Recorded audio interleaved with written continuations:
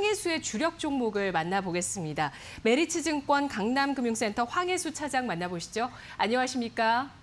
네, 안녕하세요. 네, 차장님 오늘 목요일 어떤 종목 주력 종목이 될까요? 묶어주시죠. 어, 오늘은 현대위아, LG유플러스, JC케미칼, 그리고 에코프로 HN 말씀드리겠습니다. 네, 어, 일단 크게는 화학주 두 가지 종목이 있고요. 통신주와 또 자동차, 부품주입니다. 이 가운데서 오늘 특히 더 주력할 종목은 뭘까요? 어, 우선적으로 LG유플러스를 말씀드리겠는데요. LG유플러스 같은 경우는 통신업체 3사 중에 그 상장일 처음으로 자사주를 매입하겠다는 그 공식 소식이 있었습니다.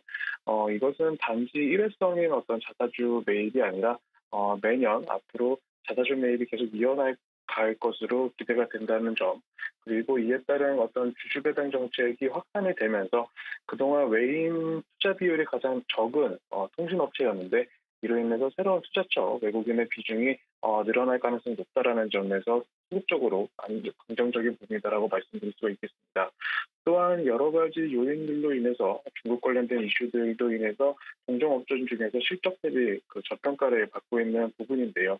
어, 이제부터는 소극적인 이벤트도 완화가 되면서 어, 실적으로의 어떤 펀더멘탈에 의한 상승이 기대되는 종목이다라고 말씀을 드릴 수가 있겠습니다. 또한 두 번째로는 그 에코프로 HN인데요.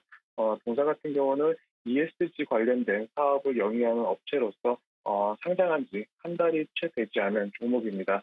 어, ESG에 가장 적합한 사업을 영위하고 있는 그 업체이고 어, 이에 따라서 올해부터 꾸준한 이익 성장이 나타날 것으로 기대가 되고 있는데요.